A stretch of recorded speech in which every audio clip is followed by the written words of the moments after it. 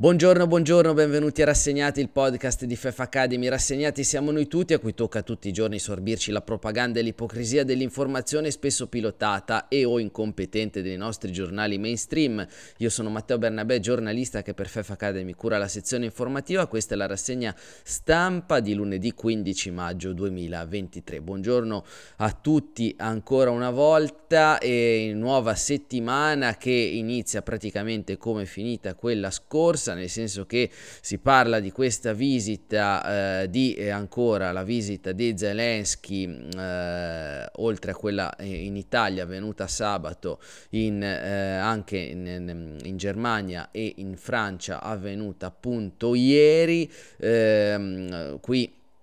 No, eh, ci siamo sorbiti in questo fine settimana una vasta, vastissima propaganda da parte sia dei giornali sia delle televisioni su, insomma, su questa visita di Zelensky eh, in Italia. Non so se avete visto anche la trasmissione che ha fatto Bruno Vespa eh, nel pomeriggio di sabato, nel quale, insomma, nella quale ha intervistato ehm, appunto Zelensky insieme a tutti gli altri altri eh, direttori e giornalisti super stra mainstream del nostro paese che naturalmente hanno tessuto le lodi di questo ehm, abile politico ehm, eccetera eccetera. Insomma se volete andarvela a vedere insomma, sul sito della RAI la potete ritrovare. Eh, nulla evidentemente di interessante da segnalare se non che Zelensky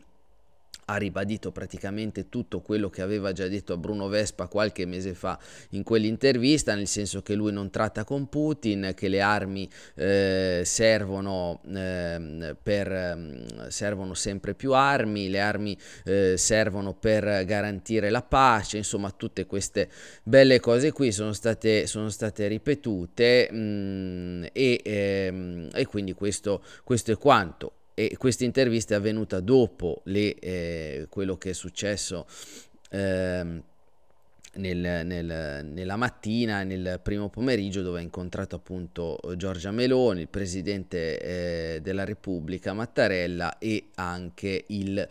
Papa e dopo vedremo anche eh, i risvolti di questo, eh, di questo incontro con, eh, appunto avvenuto eh, in Vaticano. E, ehm, detto questo, stamani naturalmente i giornali tornano sulla questione eh, Zelensky e rilanciano ovviamente come ehm, eh, perfetti megafoni della propaganda quanto detto da, da Zelensky, ovvero che Kiev vincerà entro l'anno. Ragazzi, aspettateci, aspettateci aspettatevi che eh, l'Ucraina vincerà contro, uh, contro, la Russia. Questo ci ha detto Zelensky. Uh, Zelensky a Berlino dice pronti alla controffensiva, la famosissima controffensiva di primavera che non è ancora, non è ancora praticamente eh, iniziata e ovviamente è tornato a ribadire anche a Berlino che ci servono i jet. Questo ha detto. Eh, Scholz ha detto invece il cancelliere tedesco Mosca si ritiri, sì, sicuramente Putin segui- seguirà il consiglio di eh, Scholz, senz'altro. Tour diplomatico prima dello scontro decisivo, eh, scrive mh, mm, lo scontro decisivo che sarebbe questa controffensiva, scrive il Corriere. Il Papa dice le armi, dist- le armi distruggono la speranza, giustamente eh, mi sembra eh, insomma eh, la palissiano, insomma il fatto che le armi non non garantiscano la pace, come riportava anche ieri Repubblica, non so se avete visto, se avete visto il titolo di ieri di Repubblica, dove ha praticamente citato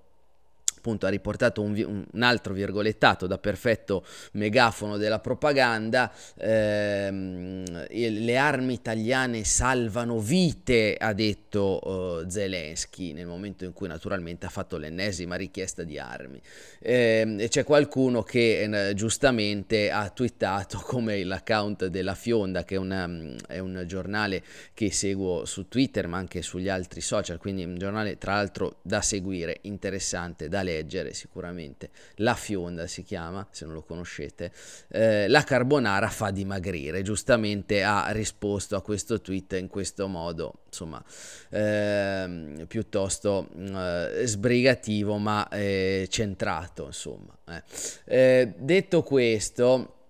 poi su questo titolo ci ritorneremo anche sulla prima pagina del Fatto Quotidiano perché insomma anche, anche, lì qualcosa si dice stamani giustamente perché è l'unico giornale peraltro che, eh, che eh, diciamo pre- mette nel mirino questo, questo titolo veramente... Eh, veramente propagandistico, non dico neanche scandaloso o, o incredibile, cioè è, è pura propaganda questa roba qua. Detto questo, ehm, dice il Corriere, tornando sul Corriere, mh, mm, eh, la sconfitta russa sarà irreversibile, arriverà entro quest'anno, dice il presidente ucraino Zelensky che continua il tour diplomatico. Sì, dobbiamo crederci sicuramente. Dopo Roma l'arrivo a Berlino e lancia un appello agli alleati europei per l'offensiva, mh, mm, servono jet, dice. Eh, il cancelliere tedesco, che tra l'altro tutti hanno già detto che non forniranno, mi sembra, di ricordare ricordare no? su questa storia dei jet. Vabbè.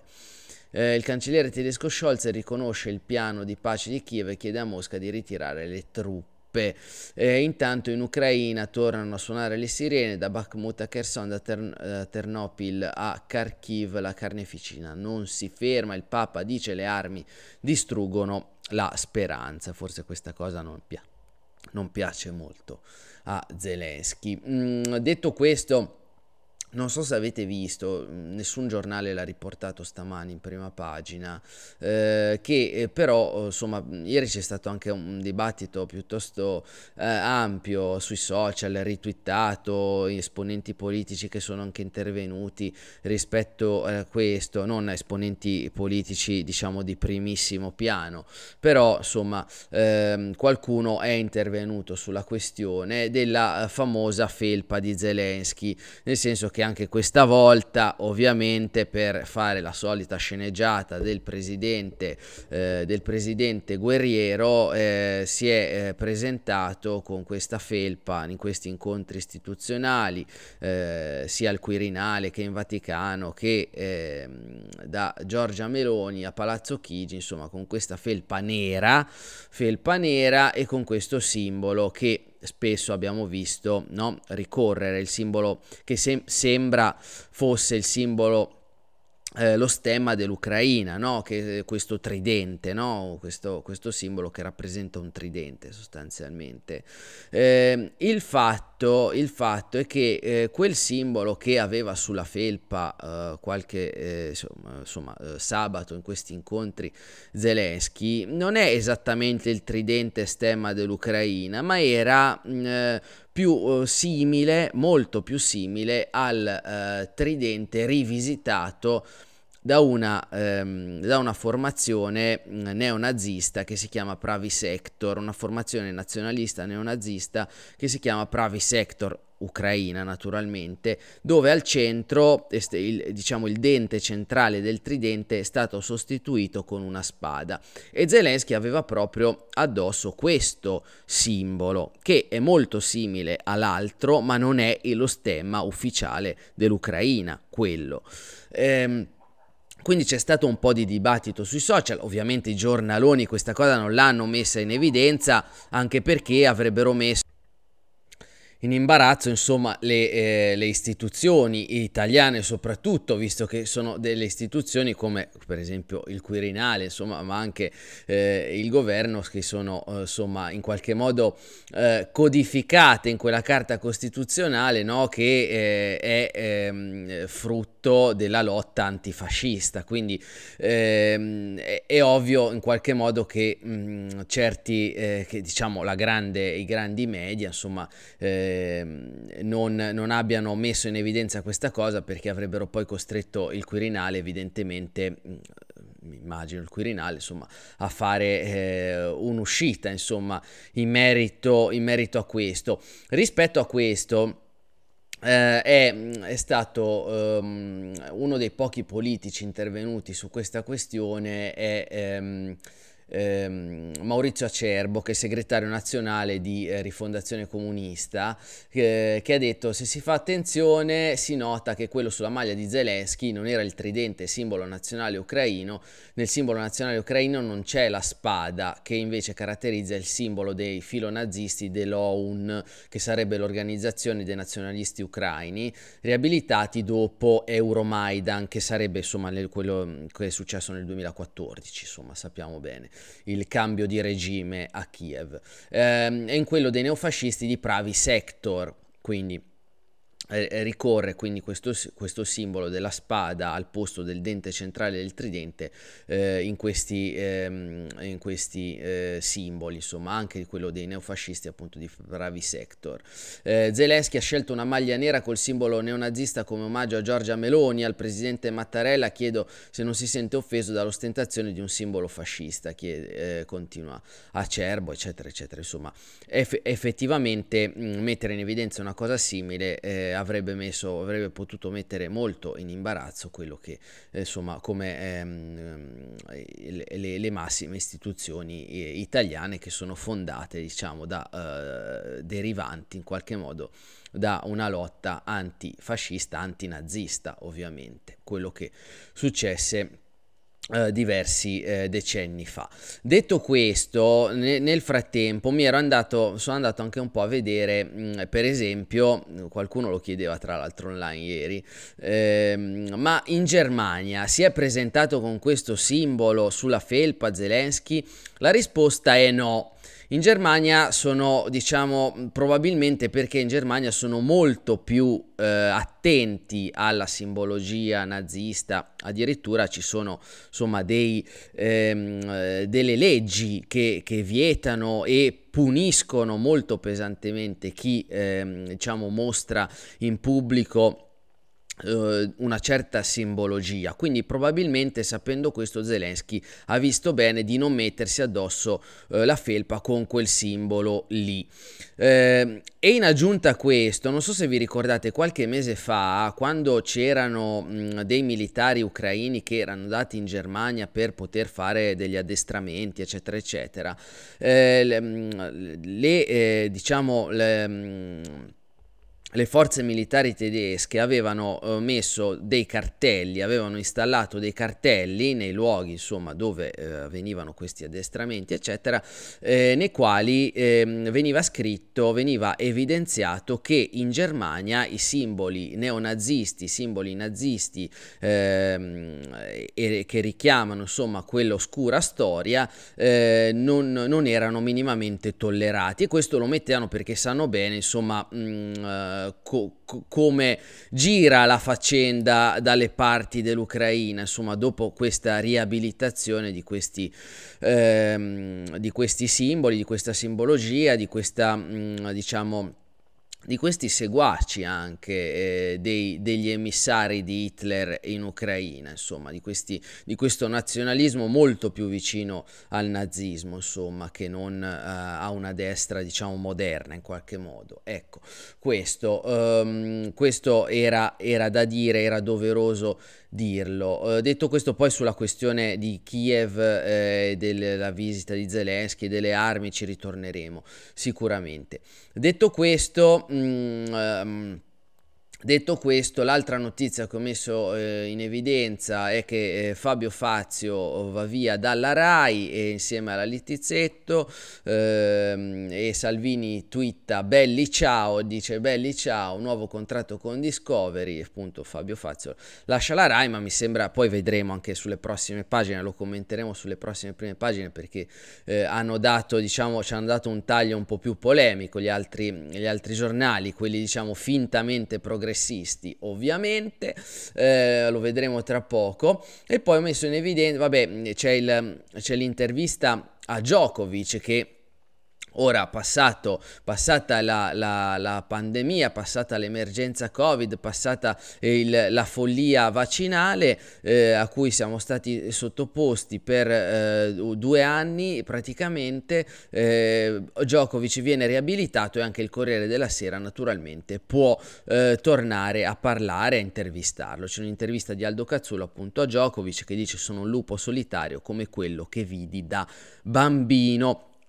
Eh, la, cosa, la, cosa, simpatica è che naturalmente il Corriere non potendo mandare giù il fatto che Djokovic è stato uno dei pochissimi campioni ad essere intervenuto pubblicamente contro i vaccini anti-covid ehm, mette in evidenza il Corriere il campione serbo dice mai stato Novax eh, qualsiasi cosa voglia dire Novax perché, no, vabbè, non torniamoci sopra. La, no, io non l'ho ancora capito che cosa intendano, co- cosa intenda questa gente quando bolla e mette etichette eh, di Novax eh, sulla, sulla fronte sul petto della gente. Vabbè, detto questo, detto questo eh, mi piaceva riportare No, mi fa, mi fa, sempre ridere quando eh, eh, eh, i giornali, i giornaloni si accorgono che Giorgia Meloni non è sovranista. Incredibile, incredibile questa cosa. Stamani c'è Maurizio Ferrara che nel suo editoriale eh, Quei giochi europei sull'Italia dice questo. Sentite, lo scorso ottobre l'arrivo di Giorgia Meloni a Palazzo Chigi fu visto come un piccolo terremoto in Europa. Gli elettori di uno dei paesi fondatori della UE avevano scelto un leader di dichiaratamente sovranista, dichiaratamente sovranista, già questo ci fa capire tutto, no? Ehm, quando naturalmente noi eravamo lì a dirvi signori qui mh, mm, non, c'è, mh, mm, non, c'è, niente di sovranismo, cioè qui, eh, qui eh, c'è una sorta, c'è un, ci sarà una prosecuzione di quello che è stato fino ad oggi, le politiche di Giorgia Meloni sono uguali a quelle di Draghi, a quelle del PD, quindi non, eh, non, spaventatevi, cari signori, che temete il sovranismo, dicevamo allora, però nessuno naturalmente, tutti se ne eh, nessuno eh, ovviamente si eh, dava peso naturalmente ma giustamente insomma a, a, mm, a questi nostri avvisi e, e, però poi quello che si è rivelato è questo, eh, è questo che sto leggendo adesso con questo editoriale insomma di Maurizio Ferrera che dice una novità che rischiava di compromettere mh, mm, il fatto che fosse sovranista Giorgia Meloni una novità che rischiava di compromettere i delicati equilibri fra paesi politici e forse lo stesso processo di integrazione inflazione. Pensate un po', in realtà a Bruxelles il cambio di governo a Roma ha generato per ora conseguenze limitate. Ma va? Ma non l'avremmo mai pensata questa cosa. Cioè abbiamo visto sin dal primo giorno Giorgia Meloni come ha applicato, eh, diciamo, le sue, eh, come non ha applicato le sue promesse, quindi è andata al governo e ha, eh, diciamo, fatto retromarcia praticamente su tutto, ehm, in primis su, tu, su diciamo, le, le, le, eh, diciamo, le sue proposte più sovraniste, se vogliamo chiamarle così. Eh, eh, quindi insomma eh, mi, mi, fa sempre ridere, mi fa sempre ridere mh, eh, come certi editorialisti no, cadano un po' dal pero, certi giornali, cioè quasi tutti, cadano al pero e dicono oh guarda un po', Giorgia Meloni non è veramente sovranista, ma guarda un po', ma guarda un po', vabbè, mh, c'è chi lo diceva appunto in tempi non sospetti. La Repubblica poi si stupisce che eh, un governo di centrodestra eh, eh, faccia andare la RAI a destra, perché questo è il titolo di Repubblica stamani, RAI a destra, Fazio lascia, il conduttore passa a Discovery con Litizzetto dopo il mancato rinnovo del contratto, non tutti sono adatti per ogni narrazione, dice lui, Salvini ironizza, belli ciao, il PD protesta, è una sconfitta per il servizio pubblico, oggi il cambio dei vertici voluto dal governo, questo è quello che riporta la Repubblica che si stupisce di una cosa che viene fatta puntualmente da tutti i governi che si susseguono, nel senso di lottizzare la RAI. Sempre successo, sempre succederà finché la RAI sarà TV di Stato, ma è bene in qualche modo che, che, che resti un servizio pubblico. Magari un po' più departitizzato, ma diventa in Italia sappiamo bene che è molto molto complicata questa, questa cosa. Mm, detto questo, questa non deve essere una scusa per svendere la RAI, perché sarebbe l'ulteriore, l'ennesima svendita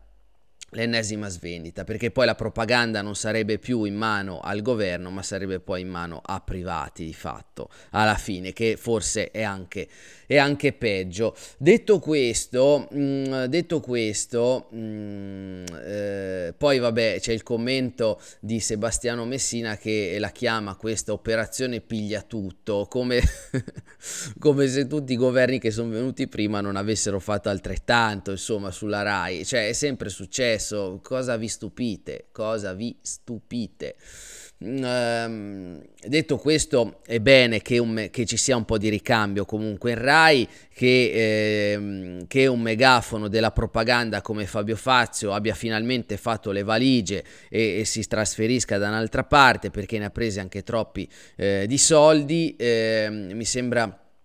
Libero, ora stamani non l'ho messo in rassegna, però mi pare che Libero stamani facesse il conto di quanti, di quanti soldi sono costati Fazio e la Litizzetto, una cosa tipo 100 milioni, una roba del genere in, questi, mm, in, in tutti questi anni, insomma, di, ehm, di, di, eh, di, trasmissioni di Fazio eh, sulla RAI. Eh, mi sembra che sulla Repubblica non ci sia altro. Ah no, una cosa volevo, volevo mettere in evidenza che non, non ho detto prima, forse forse mh, è la questione delle elezioni in Turchia. Le elezioni in Turchia, e la fotonotizia infatti è dedicata proprio a questo sulla prima pagina della Repubblica, la Turchia va verso il ballottaggio, eh, l'opposizione dice siamo in testa con Erdogan, siamo, siamo testa a testa con Erdogan. In realtà dalle ultime mh, notizie Erdogan sfiorerebbe il 50%, che non è sufficiente per diciamo vincere al primo turno, infatti probabilmente si dovrà andare al ballottaggio. Non, ancora, non sono ancora conclusi concluse, però le ultime diciamo, ehm, eh, notizie dicevano che eh, intorno alle le, le, le, sezioni scrutinate erano intorno al 98% e eh, Erdogan, che è il presidente uscente, stava, eh, diciamo, mh, mm, era intorno al 49, qualcosa per cento, insomma, quindi non, non, è arrivato al 50%, come sembrava dalle prime, mh, mm, diciamo, dalle prime, ehm, dopo l'inizio all'inizio appunto dello scrutinio eh, che sembrava superare il 50%.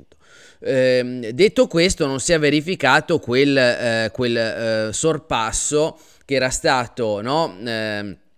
annunciato e eh, auspicato da tutti, da tutti, i giornaloni, eh, dei nostri giornaloni che dicevano che eh, lo sfidante Kilic Daroglu ehm, eh, di, di, Erdogan eh, era, eh, era, insomma, stava superando, aveva superato nei sondaggi il, mh, mm, il sultano, come viene chiamato. No? Questo a dirla lunga sul fatto che è sempre stato stato descritto come un dittatore, eccetera, eccetera, Erdogan, cosa che alla fine non è, visto che la situazione è che insomma un'opposizione mi pare che ci sia in Turchia, eh, altrimenti non avrebbe preso lo sfidante insomma intorno al 45% dei voti. Ecco, questo eh, la narrazione però ci diceva altro, eh? come ci diceva altro rispetto a questi sondaggi che poi sono, si sono rivelati fuffa di fatto, no? come spesso accade, cioè le, gli auspici in qualche modo del, del, della geopolitica occidentale, no? eh, della propaganda occidentale, spesso vengono confusi con i sondaggi, però spesso sono più no? Auspici che non veri e propri sondaggi. Detto questo, detto questo, a proposito di sondaggi, c'è Ilvo Diamanti che stamani sulla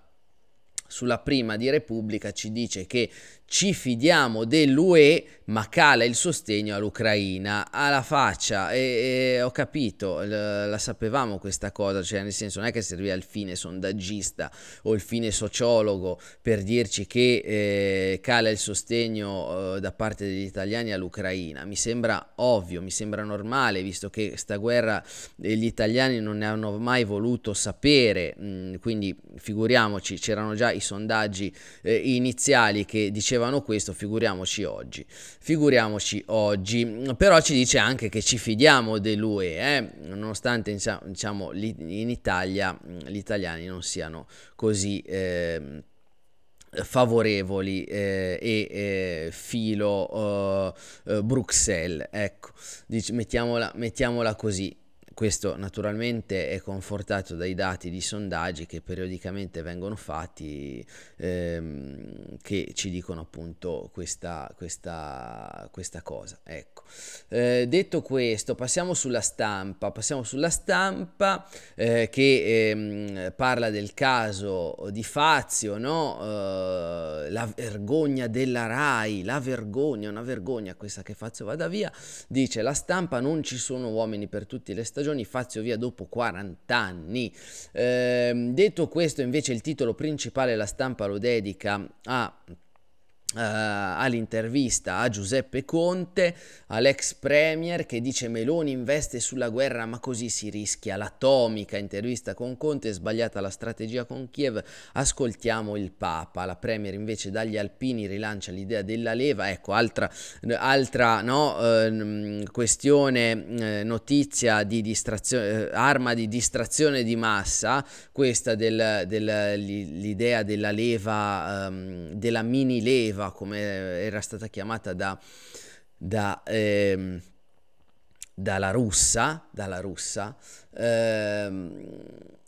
e poi eh, dico una cosa sulla russa tornando alla questione di, eh, di Zelensky e del simbolo che aveva sulla felpa. Eh, e quindi Conte, Conte dice, dice, che Meloni investe sulla guerra, ma ehm, Conte quando era al governo con Draghi mi sembra che avesse votato e avesse approvato tutti gli invii di armi. Il Movimento 5 Stelle in Parlamento aveva approvato tutti gli invii di armi. Ora, oh, naturalmente, dall'opposizione, da quando è passato all'opposizione, si è scoperto pacifista eh, Conte e il Movimento 5 Stelle. Vabbè, eh, ipocrisia, portaci via, come, mh, mm, come dico spesso.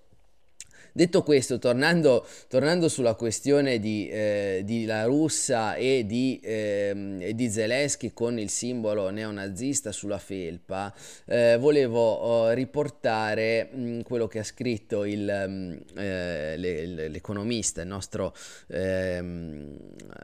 amico economista eh, Marco Veronese Passarella, eh, che ha detto, che ha scritto ieri, cimelli del duce custoditi a casa is for boys Felf, felpa Pravi Sector indossata in incontri istituzionali is for men. Naturalmente il riferimento ai cimelli del Duce custoditi a casa è relativo al presidente del Senato La Russa, insomma, che non ha mai nascosto di avere dei busti di Mussolini a casa, eh, ovviamente suscitando tutte le polemiche possibili, immaginabili, titoloni dei giornali, eccetera. Poi questo si presenta da, da Mattarella ehm, no? eh, con, con, il simbolo di, ehm, di, eh, di, Pravi Sector e dei neonazisti ucraini, eh, però qua questo non, naturalmente viene evidenziato. Eh, altra cosa, ehm, ecco, mm, l'altra cosa che ha messo la stampa in prima pagina, che ovviamente mh, mm, conferma un po' quel trend che mh, mm, abbiamo visto in tutte eh, le tornate, nelle ultime tornate eh, elettorali, è la, l'affluenza alle urne perché ieri si è svolto eh, il, il, cioè ah, ieri e oggi si svolgono i, ehm, le elezioni amministrative in circa 600 comuni in Italia e ehm, uno dei dati che insomma il primo dato ad emergere è stata insomma questa conferma dell'astensionismo in aumento. Suona per tutti la campana eh, dell'astensione dopo il referendum, eh, dopo il referendum, le elezioni politiche Lazio e Lombardia, neppure questo turno amministrativo si sottrae al trend. È ovvio, lo abbiamo già spiegato in, in, eh, in, puntate precedenti, insomma, che eh, il fatto che ci sia questo astensionismo in aumento eh, è molto semplicemente dovuto al fatto che eh, i, se i, politi- i, politici si presentano in un modo, vanno al governo e fanno l'esatto opposto, eh, è chiaro che poi uno a votare non ci va più, mi sembra ovvio, a meno che non ci abbia delle alternative valide, insomma, eh, però eh, tutte le alternative che sembravano valide poi si sono rivelate non valide, vedi Movimento 5 Stelle, vedi Fratelli d'Italia oggi, eh, e quindi insomma quello che, che, che può venire fuori non è altro che eh, un aumento dell'astensione astensionismo perché dice ma cosa vado, eh, i cittadini, la maggioranza dei cittadini dice ma cosa vado a votare a fare? Cosa serve il mio voto se voto un certo programma e poi mi ritrovo l'esatto opposto quando eh, questi mh, mm, vincono e vanno al governo? È questo il fatto, è questo il discorso. Ehm,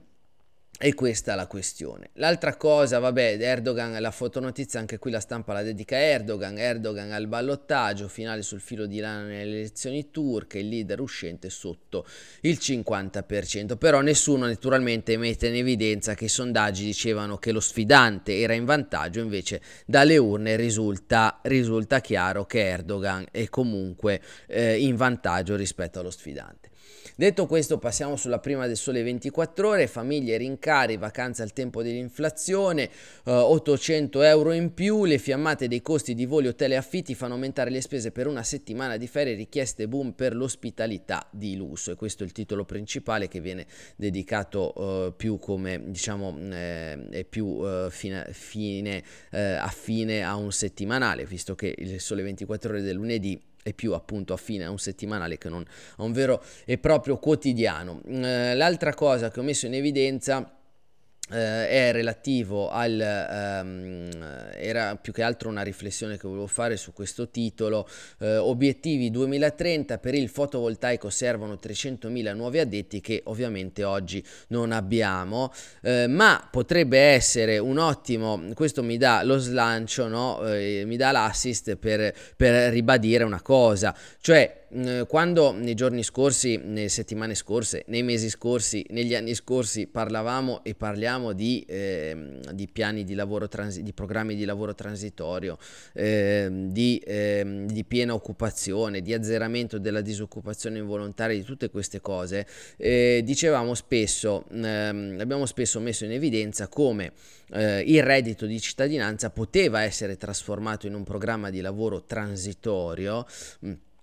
Che potrebbe essere anche un programma di formazione transitorio, nel senso che se servono 300.000 nuovi addetti, queste persone vengono formate come addetti, nel senso lo Stato crea un'agenzia o utilizza insomma quello, le agenzie che ha, che ha già eh, per formare queste persone, le scuole che ha eccetera, queste persone che vengono chiamate e, e accettano di partecipare a questo programma di formazione eh, ricevono anche naturalmente un, una sorta di reddito, uno stipendio, in modo che così continuino ad andare eh, e formarsi e in modo che nel tempo poi creiamo quella, mh, mm, eh, quella, quelle competenze necessarie all'interno della popolazione per poter poi affrontare queste, mh, mm, queste sfide insomma del futuro in qualche modo. Quindi eh, eh, cioè, eh, il reddito, il cosiddetto reddito di cittadinanza che oggi viene ovviamente bistrattato dal governo, dal governo in carica eh, con delle scuse so, sostanzialmente, che quelle del, del, fatto di stare sul divano, insomma tutte queste stronzate qua, potrebbe essere sicuramente riformato in quel senso. Fate lavorare, formate, formate questa gente e la fate lavorare così si eh, supera, si, diciamo, si eh, dà un ruolo diciamo, mh, mm, più importante al, al, reddito di cittadinanza. Però questo ovviamente non, non, vuole, eh, non deve essere fatto perché altrimenti si andrebbe, come dicevo, a contrastare eh, i sacri dettami mh, mm, di Bruxelles, insomma sui vincoli di bilancio, eh, sull'output gap, su tutte queste belle robe qui. Eh, detto questo, mh, mm, chiaramente chi vuole approfondire queste questioni ci sono a disposizione dei video divulgativi che abbiamo fatto eh, questi, negli ultimi anni, insomma anche sulla questione dell'output gap, del tasso di disoccupazione che non deve, eh, che, che mm, non può abbassarsi sotto una certa soglia, eh, ma anche ci sono i nostri videocorsi a disposizione chi vuole davvero approfondire bene certe questioni. E lo può fare sul nostro sito www.fef.academy trovate tutte le informazioni che servono per poter diventare cittadini sempre più consapevoli perché appunto la conoscenza dell'economia è fondamentale in questo, in questo momento storico. Detto questo passiamo sulla prima del fatto quotidiano. Che risponde in qualche modo al titolo di Repubblica di ieri, no? che Repubblica ieri eh, titolava eh, Le armi italiane salvano vite, stamani Travaglio gli risponde dicendo eh, sparano aspirine e supposte, lo scrive nel suo editoriale di stamani, eh, il solito ma mi faccia il piacere del lunedì, eh, però è il titolo principale quindi del, del quotidiano di Marco Travaglio, titola Francesco le canta Zelensky, le armi distruggono la pace c'è il virgolettato eh, che eh, attribuisce il fatto quotidiano a, a, ehm, a Papa Francesco, eh, Santa Sede irritata per il no di Kiev alla mediazione con Mosca, gasato dall'inerzia di Meloni e Scholz sui negoziati, l'Ucraino è ormai fuori controllo, in Germania chiede una coalizione per darci caccia, i, i famosi jet, e secondo... Mh, mm, il ehm, VP eh, progetta eh, altri attacchi in eh, Russia. Vabbè, questo eh, vedremo. Vedremo un po' co- eh, cosa, cosa, succederà in questo senso. E poi giustamente a fianco, nel colonnino di sinistra, il, il Fatto Quotidiano ci ricorda una delle tante guerre dimenticate, ehm, che non c'è solo la guerra in Ucraina nel mondo, sono tantissime le guerre. Purtroppo una di queste è quella del Darfur eh, il titolo è Darfur, la guerra dimenticata non è mai finita inchiesta di Mediapart. Ehm, detto questo, mi sembra che sulla prima non ci sia del fatto, non ci sia nient'altro da, ehm, da eh, evidenziare. Da evidenziare. Mh, mm, sì, ecco. Um, Vabbè, poi mh, mm, i, i, la schiera di giornalisti con Vespa che hanno intervistato l'altro giorno, c'era Mentana, c'era De Bortoli, c'era, ehm, c'era anche Porro di Rete 4, eh, chi c'era poi? Eh, c'era naturalmente eh, Monica Maggioni, direttrice del, ehm, del TG1, eh, ancora penso per poco, visto insomma le nomine che mh, stanno arrivando in RAI, le nuove nomine. Eh, li definisce i telesaturnali da Vespa and Company, insomma, eh, il fatto quotidiano, questa schiera di, eh, di, eh, gior- di, direttori dei giornaloni. Eh. Eh, detto questo, mh, chiudiamo con la verità, anche la verità si occupa delle armi, ehm, delle armi per l'Ucraina, le armi a Kiev già costate 13 miliardi è il titolo, eh, il, l'articolo è firmato da Francesco Borgonovo, il Papa l'Angelus prega per gli ucraini ma non cita nemmeno Zelensky che alla mediazione ha riservato una risposta freddina, intanto a Bruxelles ci si muove per la plenaria che garantirà un milione di munizioni e altre dotazioni. Le spese saliranno ancora. Avanza la linea dell'alto rappresentante Borrell. Giustamente, giustamente. Eh, il popolo ha fame, diamogli più armi, ovviamente. Detto questo, poi c'è il commento di Moreno. No, ma restiamo un attimo, un attimo sulla questione. Volevo, un, volevo, aggiungere una cosa su quello, eh, sulla famosa felpa con il, lo stemma neonazista di Zelensky. Ehm, che questa stessa felpa era stata utilizzata in un incontro eh, con Biden a, a febbraio, mi sembra, e un altro incontro sempre a febbraio a ehm, con i vertici dell'Unione Europea, cioè con Ursula von der Leyen e con, ehm, con ehm,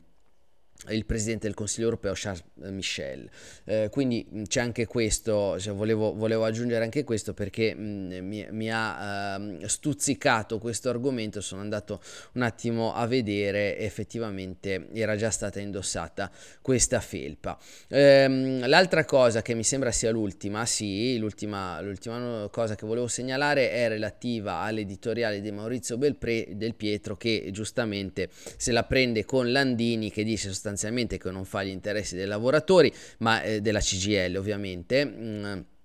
Ma è un po' come sparare sulla Croce Rossa di fatto. Scrive Belpietro Landini dalla Luna 1000 euro rifiutateli. Questo ovviamente mette in evidenza il fatto che Landini si sia no, eh, riacceso nel momento in cui Giorgia Meloni abbia fatto, mh, mm, ha fatto questo, mh, mm, questo, decreto insomma, per eh, aumentare in qualche modo i soldi in busta paga per, mh, mm, per i lavoratori. Eh, um, qui eh, parla di 1000 euro, ma almeno stando mh, ai dati, trattasse eh, agli, agli, ultimi dati, peraltro li riportava mi sembra il Fatto Quotidiano qualche giorno fa eh, rispetto a questo uh, decreto lavoro, quello che è stato licenziato dal governo il primo maggio, non aveva molto diciamo così, ehm, quei 1000 euro secondo me, ehm, almeno il fatto quotidiano diceva che mh, sarà difficile che saranno, che saranno, raggiunti, però detto questo, insomma, ehm, Landini ha trovato comunque un pretesto per, per, poter fare un po' di casino, per far sembrare che lui è dalla parte dei lavoratori. In realtà sappiamo bene che non è così. Bene, mi sembra che per stamani non ci sia altro da aggiungere, questa era la rassegna stampa di lunedì 15 maggio 2020 2023 da Matteo Bernabé. Una buona giornata.